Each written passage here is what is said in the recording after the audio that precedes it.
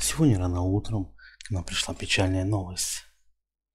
Нам стало известно о том, что российский актер и телеведущий Дмитрий Дебров рано утром, не дойдя до места своей работы, оказался в больнице с тяжелой травмой головы.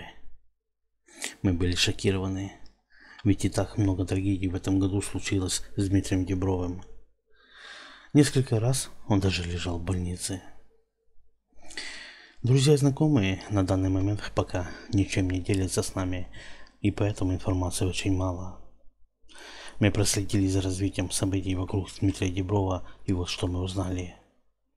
Оказывается, Дмитрий Дебров был избит неизвестным лицом на автостоянке. Кому-то не понравилось, что Дмитрий Дебров поставил свой автомобиль на чужое место. Началась драка, Мужчина, который находился в неадекватном состоянии, избил Дмитрия Деброва и скрылся. Охранники стоянки вызвали скорую помощь и наряд полиции. Сейчас полиция находится в больнице, пытается поговорить с Дмитрием Дебровым для того, чтобы составить фоторобот нападавшего лица. Будем надеяться, что с Дмитрием Дебровым все будет хорошо, дорогие наши зрители.